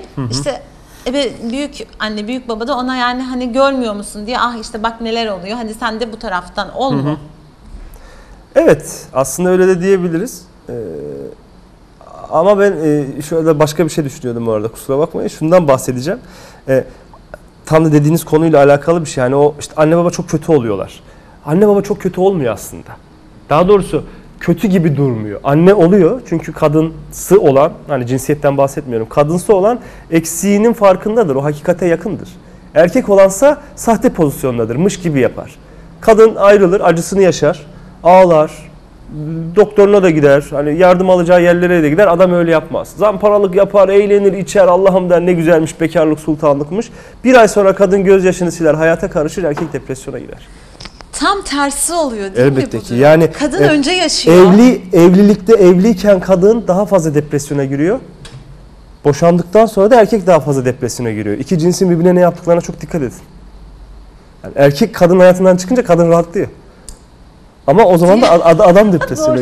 Adam depresyona Bunu giriyor orada yani. gözlemlemiştim evet. Evet yani çünkü erkek bağımlı aciziz aslında. O yüzden kadına bu kadar hükmetmeye Sonradan mı çalışıyoruz. anlıyor olanları acaba? E tabii ki yani Başıma gelenler nedir diye. Yani e, o kadar aciz ki kadını kontrol etmek ihtiyacı hissediyor. Çünkü güçlü olan güçsüz olanı kontrol etme ihtiyacı hissetmez. İçten içe güçsüz olan güçlü olanı kontrol etme ihtiyacı hisseder. Kadın giderse bittim ben. Ne yapar? Oraya gider, buraya gider. Yani emzirilecek memeler arar kendini. Hani duygusal olarak. Bir ay sonra bakar ki "Aa, papuç pahalı öyle değilmiş bu iş. Ben der özledim der ya. Ne yapacağım der yani şimdi. Evet, Erkek o tam- yüzden daha sahte pozisyonda. Buradan naçizane şöyle bir tavsiyede bulunalım. Ee, Kadınlar zaten bu anlamda e, yardım alma konusunda daha açıklar ama erkekler biraz daha o sahte pozisyonu çok uzatmasınlar. Ee, Sert bir depresyon vurabilir yani. Hani e, şey sonrası boşanma kararı ya da boşanma sonrasında kendileri de mutlaka destek alsınlar. Onlar da Dışarıdan- insan, erkek olmadan önce insan olarak doğdular Değil mi? yani. Dışarıdan bir gözle bunu fark etmek, görmek. Çünkü çok farklı kafalar olabiliyor yani. Ve bu bir yas sürecidir. Yani yasın anlamı şudur. Ka- ka- kayıp. Kayıptır yani. Ya Bir evlilik kayboldu. yani yasını tut- imkansız bir şey. Kesinlikle yaşanmayan yas insanın peşini bırakmaz. Onu yaşaman lazım. Yoksa tarla faresi gibi buradan bastırırsın oradan çıkar. Yani boşandım. Şey doktora gider mesela. Neyin var? Karın ağrıların var. Ne zamandan beri? 6 aydan beri var. Ne zaman boşanmışsın? 8 ay önce boşanmışsın. Çok enteresan. Çünkü ifade edememiş ya. E, beden de doğruyu söylemekle mükellef. Beden artık o psikosomatik. Başlıyor yani. Tepkileri veriyor. Artistik yapma diyor yani. Bak bir şey var orada. Onunla ilgilen diyor artık. Çocuk da mutlaka bu süreçte destek Ee, destek alırken şuna dikkat edilsinler. Bu benim naçizane e, görüşümdür. Ee, boşanma kararını sakın bir psikoloğa söyletmeye çalışmayın. Bence psikologlar da genelde kabul etmezler zaten bunu. Çocuğa söyletmeye mi? Tabii ki yani Ha. güveneceği, tanıdığı biri olması lazım. Sen yabancı bir insana onu söyletirsen olmaz. Doğru. Ha, psikolog, hani Batı genelde şeyde yapıyor bunu. Hani psikolog eşliğinde söylüyorlar vesaire ama onu bir güvendiği, güven ilişkisi olduğu birine söylemesi lazım. Yani anne ve babanın mümkün mertebe yan yana olmadığı zaman da ikisinden birinden duyması lazım. Ev boşanmışlar 3 ay geçmiş. Anne babam nerede? Ya işte İstanbul'da gitti. İstanbul'a gelecek. E niye söylemiyor? Üzülmesin diye. Üzülmesin ama sonra da vay benim arkamdan iş çevriliyormuş. Zamanında üzülecekse üzülecek. Yani, Üzülecek yani e, duygu duygulardan duyguları kontrol kaçış- edemez. Peki boşanma e, yaşamış anne babanın çocukları ileride evlilikle ilgili düşünceleri nasıl olur? Gene ayrılış sürecine bağlı herhalde değil mi bu? Yani ayrılık ayrılık sürecine bağlı, anneyle güvenli bağlanmaya bağlı e, ki güvenli ilişkiye bağlı güveni anneden, riske bağlı güveni babadan alıyoruz aslında. O riske ne kadar gireceği babasıyla olan ilişkisine bağlı. Yani çok fazla orada e, altyapıda çok var. tabii ki çok e, doneler var orada. O yüzden hani çok iyi ilişkiler de çıkarabilirler. Hani ders alma. Evet ya çok iyi ilişki çıkartacak ya da hiç ilişki kurmayacak. Arası da Belki olabilir. de. Yani çok da keskin olmamak lazım. Olabilir. Yani bu e, ebeveynleriyle olan ilişkisinde şunu gö- görebilir mesela. E, eğer ebeveynlerinin boşandığına şahitlik ettiyse e, ileride şunu düşünebilir. İstismara dayalı bir ilişkiyi bitirebilirim. Ebeveyninden bunu da öğrenmiş olur yani. Olmuyor, olmayan bir şey değil Evet. mi? Yani demek ki bu bitebilirmiş. Çocuk için bir evlilik gider mi? Çocuk için bir evlilik gitmez. Bu ebeveynin e, bencil çıkarları ve korkularının e, toplum tarafından idealize edilen, yüceltilen figürünün bir desteğidir bu. Ben sizin için katlandım der. Hayır, sen korktuğun için, yalnız kalmamak için, terk edilmemek için, maddi olarak zayıf olduğun için gitmedin. Ama çocuğa bunu yüklüyorsun. E, Kötü olan da şudur ki buna söyler kendi de inanır sonra. Aslında hiçbir ebeveyn yani mesela anneler ben çocuklarım için devam ediyorum derken aslında çocuklar için devam etmiyorlar. mı Etmiyorlar tabii ki. Tabii ki o yalnız kalma, o, onun e, altyapısında çok daha farklı korkular var. O idealize ediyor ama. Ben sizin için katlandım Gelecek diyor. olan dalgaya ayakta durabilecek geleceğini kadar garanti altına alıyor. manevi. Aslında ge- geleceğini garanti altına alıyor. Çocuklarla. Tabii ki ben sizin için zamanında neler neler yaptım. Şimdi sıra sizde diyor aslında. Ve beklentiye de giriyor orada. Beklenti yaratıyor. Yani benim istediğim gibi olacaksın diyor. Ben senin için neler bu fedakarlığa katlandım. Mutlu olmadığım bir evliliği devam ettirdim. Çocuk şunu söylediği zaman da e, ebeveyn yaralanıyor. Yapmasaydım. Tüh, Ki na- söyler. Nankör. Gördün Ki, mü? sö- Söyle. ki söyler. Yani fedakarlık dediğimiz şey feda ve kardan oluşur. Feda ederim, kar gelirse iyi, kar, Kar gel- gelmezse orada Kesinlikle. sıkıntı var. Peki e, boşanmaya gelmiş bir ilişki kurtarılabilir mi? O kişilerin işte içgörüsüne Ne, dönüştürme neler ve varsa kurtarılmaz. Şu dört mahşer olayı var mesela. Onlar bana Onlar, yani bir, onlar bir, bir sizi- 5-10 yıl önce söylemiş Tamam. olsaydın söylerdin de onlar biraz bana çok Tamam. e, günümüz modernitenin o dayattığı o Hayır, ezber hap yani bilgiler böyle gibi şey geliyor yani, bana. Hap yani. bilgilendirme ama e, şöyle yani artık hani belli bir şey var. En son duvar örme dediğimiz noktadan sonra hani size gelen ilişkilerde var mı yani böyle bir Ben çift terapisi değilim bilmiyorum. Bana öyle Onunla hiç ilişkiler gelmez. yok. Tamamen Ha, bireysel hikayelerde ama duyuyoruz tabii ki. Ama çift terapisi değilim, yapmıyorum. O yüzden bilemem. Ne şekilde Peki gelir. daha çok ergenlerle ilgileniyorsunuz aslında. Ergen ve bireysel yetişkin Yetişkinler. Ee, peki başka ne söylemek istiyorsunuz ya? Ben şimdi aklıma böyle düşünüyorum. Bayağı bir şey sordum. Ee, boşanma öncesi ve sonrası çocuklara nasıl, öncesinde nasıl davranılması gerektiğini anlattınız. Sonrasında E, sonrasında da hani işte o arkadaş ilişkisi vesaire hani bu, bunu korumak için çok da kasmamak lazım. Yani koruyamayabilirsiniz ama e, çocuğunuzun boşandığınız Yani- ebeveyniyle yani boşandığınız kişiyle olan ilişkisine karışamazsınız. Onun, onun ikisinin arasındaki ilişki. Yani görmek isterse görür, görmek istemezse görmez. Bedelini de o ebeveyn öder. Ama e, net sözleri net vermek lazım. Veremeyeceğimiz sözleri tutmamak. Şey tutamayacağımız sözleri vermemek çok Vermemek. önemli. Yani işte yarın geleceğim deyip de çocuğa hazırlık yaptırıp ondan sonra benim acilen bir işim çıktı. Olayına girmemek lazım. Bu çocuğu çok sakatlayan bir şeydir. İşte e, en temel duygumuz güven. O güven yıkılırsa da bir daha kurmak dediğim, zor. o, Peki dediğim onu kastettim işte. Annenin doyuramadığını dünya bir araya gelse doyuramaz yani. O bağımlılıklar da öyledir ya. Hani o bağlanamadın mı işte bana ilk güven ve işte şeyi anneden aldığı için değil mi yani? E tabii ki yani işte o meme ne zaman gelecek güvende miyim? o zaman Şefkat, anneyle uyku, sürekli bir ihtiyaçlar. bağlantısı çocuğun olması gerekiyor bu durumda. E tabii ki. Yani, Yani, çünkü şu an mesela bu son olaylarda bile yani hani anne dediğim biyolojik anneden bahsetmiyorum. Ona bakım verecek herhangi biri. Bu e, iyi şefkatli bir bakıcı da olabilir. Evet tabii ki annesi belki olmaya da büyük bilir. anne büyük e, büyük anne falan da olabilir. Teyze hala da olabilir. Yani ona o bakımını, ihtiyaçlarını giderecek ve bunu şefkatle yapan tutarlı bir bakım verenden bahsediyoruz. Biyolojik anne olarak söylemiyorum. Baba da zaten şey değildir sadece. Ee, belki bunu başka bir programda konuşuruz. Baba dediğin yasa koyadır. Yasa, yasa koyar yani. Cızdır baba. O 80'ler dizisinde var ya iyice çıkarma ya diyor yani. Artık şu an pek Oradaki babadır. Ama işte günümüz modern toplumun en büyük e, şeyi o, talihsizliği o. Babanın kafası çok karışık. Baba ne yapacağını bilemiyor. Değil mi? Eskiden o Baba cız kim? diyen yok. Mesela doğa ana derler. Doğa ana değildir. Tabiat ana diye bir şey yoktur. Tabiat baba vardır. Baba zalimdir. Çalışmazsan yoktur der. Avlanmazsan yemek yok. Hani çocuğu bir kek kalıbı, kek malzemesi olarak düşünürsek malzemeyi veren annedir ama kek kalıbı da babadır. Şekle baba sokar tabii zaten birlikte durması sonuçta. lazım. Evet. Ensest dediğimiz şey nedir? Hani hep biz onu cinsel istismar olarak görüyoruz ama ensest dediğimiz yasak olandır. O yasanın ensestin delinmemesi lazım. Ensest her yerde denilebilir. Futbolda offside, ileri gittin. Adamın ayağını sakatladın, kart. Şşt, fazla ileri gitme. Burada dur. Gibi. Yani o baba oradadır. İşte devletin e, koruyucu tarafı olduğu zaman devlet ana deriz. Yasa olduğu zaman devlet baba deriz. Yani. Ve babayla olan ilişkiye girdiğimizde Tanrı ile ilişkimiz de en büyük baba odur. Babanızla sorunuz varsa Tanrı ile de aranız çok iyi olmayabilir yani çoğu zaman. Aa, öyle Yani mi? tabii o yasalara karşı ben kafama göre günümüz gençlerinin o zaten babaların kafası karışık olduğu için günümüz ergenlik dönemindeki bireyler hoşlanmıyorlar yasadan. Ya ben takılıyorum kafama göre. Çünkü babayla Ben yapmayacağım diyor ya. Ben yapmak istemiyorum böyle bir şey diyor. Ya ben kafama göre keyfe keder takılıyoruz. ya. Çünkü iletişimleri iyi değil. Yani Babayla baba baba aile- olarak değil. Yani e, baba şu anlamda e, net değil. Ya bak bahsettiğim o sert işte vuran kıran babadan bahsetmiyorum. O yasayı koyan ve o yasanın arkasında Sürdü- duran babadan bahsediyorum. İstikrarlı yani. bir baba değil şu Hayır onu yapamaz. Yani e, bedelden bahsediyorum. Bedel ödeten baba.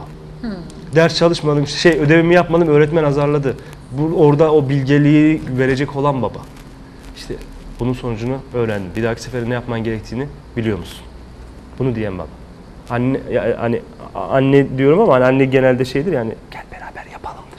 Ona da bazen ihtiyaç vardır. Hani Ara ilişkiyi bulucu. kuvvetlendiren bir Ara şey. bulucu. Ama işte hani tercüman olduğu sürece de yabancı dil öğrenilmez. Ara bulucu olursan babayla ki bu memlekette biliyorsunuz en son babalar duyar diye dizi Evet, var. o- evet, o evet. dizi. Yok, hiç o babasıyla kendi arasındaki sorunu kendisi hani çok ciddi bir şey olmadıktan sonra yani öyle Ama orada karışmak annenin evet annenin kendine muhtaç olması, anne kendine muhtaç olsun istiyor. öyle şu an o şekilde gerçekten yani hani bir şey olduğunda anne e, hep bir tık önde hani kotaran daha ihtiyaç duyulan çünkü hani boşanma Allah korusun öyle bir şey de olursa mesela orada da çok annenin o şeyi çok işine yarayacak Evet. aslında. Değil mi? Yani şu an zaten aslında son yıllar yani boşanmalarda genelde anneler çocukları tarafına çeken taraf. Hani babacız demin dediğiniz gibi yani. Çocuklar babadan çekinir. Çok azdır yani babasıyla birlikte olan. Yani şöyle bir şey vardır. e, çocuklar da genelde anneyi tercih ediyorlar. Çünkü baba yasa koyan yok ya anne olduğu zaman. Yani çocuk şunu söyleyebiliyor. Kral öldü yaşasın yeni kral. Yasa koyanı mı tercih etmiyor çocuk? Evet yani kral öldü diyor yaşasın yeni kral diyor yani. Kural koyanı tercih etmiyor yani değil mi? Çünkü Çok çocuklar sevmiyoruz. Biz hepimiz öyle değil miyiz zaten? Hani işte e, ahlak denilen kelime insanın ahlaksız tarafını durdurmak için ortaya atılmış bir Bu manipülatif güzel. kavramdır yani Şu an ahlak. e, bugünün aslında tam ana fikri sizden duymak istediğim bir şey güzel bir şey oldu yani bu e, hani programı kapatmadan önce. E, çocuklar demek ki kural koyanı e, daha İnsanlar diyelim sadece çocuk demiyorum. İnsanlar kuralı sevmezler. Kuraldan sevmezler hoşlanmaz. ama boşanma aşamasında yani çocukların bu şeyini düşünmek lazım. E, sonuçta hani kuralı sevmedikleri, yasaları sevmedikleri için e, tercih yaparken daha yumuşak olan, hani daha kuralsız olan ebeveyni seçme şeyleri. Çocukların bu- bunu kullanma durumu var. Tabii yani buna bu, dikkat bu, bu etmek bizim işte gerekiyor. narsistik çekirdeğimizle alakalı. Biz bizim çıkarlarımız doğrultusunda bizi iyi hissettiren kimse o- onun yanına gidiyoruz. Oradaki memeyi emmeye çalışıyoruz. Evet. Yani. o da Yani kendini iyi hissediyor. Onu E, tabii ki. yani O daha- benim için geliyor zannediyor. Halbuki o konfor için geliyor yani. Senin için niye gelsin? Peki, e, üç buçuk olmuş. Gene güzel bir program. Çok çabuk bitti. Daha sormak istediğim bir sürü sorular var. Yani böyle akşama kadar konuşabiliriz aslında ama Evet. e, konu geniş. Bir daha yani ayda bir kere salmak istiyorum. Yeni yayın döneminde Eylül'de başlayacak. Bundan sonra konu gene ilişki üzerine konuşuruz olmazsa. Çünkü Olabilir. biraz şey oldu. Dağıldı böyle. Toparladık ama çok konuşacak şey varmış oralarda. evet yani e, üstünden il- ilişkilere bayağı ilgisi var. Yani hani e, Kuramadıkları için. Ben paylaşım yaptım hani daha çok hep ilişkiyi soruyorlar. Yani ilişkiler, ikili ilişkiler bunlarla ilgili daha çok. Ya şimdi insan insanoğlunun şöyle bir özelliği de var aslında. Ee, güzel soru soranı överler ama ne yapacağını söyleyene taparlar. Onu istiyorlar işte. İyi, iyi bir ilişki nasıl olur? Ne bileyim nasıl olur? Yani herkese göre değişir bu yani. Siz nasılsınız? Herkesin Benim hikayemle senin hikayen aynı değil ki. malzemelere göre. E, tabii ki o malzemeye göre. Hani Nasıl üst- bir kek çıkacak? yani ü- ü- üstten bir şey söyle efendim iyi bir ilişki için beş ipucu falan bunlar hani e, biraz safsataya girmeye başlıyor. Safsata genel anlamda yani herkesin e, en aşağıda yani tam olarak herkese göre değil ama genel anlamda bir şey onu istiyor. Hani onu tekrar e, e, etmiş olalım. Hani dünyada aşkın tanımı tek olsa bile 7 milyar yaşanma şekli var diyoruz. Hani dikkat edersen artık genelleme işin içinden çıktı Değişiyor. yani öyle bir şey yok. Peki e, ailelere ve çocuklara ne söyle? Çocuklara ne söylemek istersiniz boşanma aşamasında? Bak, Bunun onun sizinle hiç- hiçbir bunun sizinle hiçbir alakası yok. Ee, beceriksiz e, ilişki kurma e, anlamında yetersiz olan ebeveynlerinizin hayatlarının e, onlara getirdiği karar diyelim. Yani e, bunun Anne ve babalarına nasıl davranmaları gerekiyor? anne babayla babalarına nasıl davranmak istiyorlarsa öyle davransınlar. Anne babalarının nasıl hak ettiğini düşünüyorlarsa öyle davransınlar yani. Çok kasmasınlar. Onlarlık bir şey yok yani. Onlar istediği gibi davranır. Onlar bu işin Hani içinde yer almıyor. Çocuk söz konusu olduğunda ben biraz pozitif ayrımcıyımdır. O yüzden ha, onlar, onlarlık bir şey. yok. Onlar bu işin içinde yer almıyor. O, e, kendi yani evet, karışmasın. Evet. Yani e, elçi olmanıza gerek yok, tercüman olmanıza gerek yok. Ee, sizin üzerinizden anne babanız da dahil kimsenin nemalanmasına izin vermeyiniz diyebiliriz. Peki. Ee, bugün de bir programın sonuna geldik. İçeriden bana artık yayını kes diyorlar. İşaret Biraz önce bir ediyorlar. şey fırlattılar ama. Güzel bir yayın yani bizim için öyleydi. İnşallah sizin için de öyledir. Tekrarını izlemek istediğinizde YouTube'da Seda ile Cumartesi enerjisinden Burak Aslan'la, psikolog Burak Aslan'la olan Boşanma ve Çocuklar konulu programımızı tekrar izleyebilirsiniz.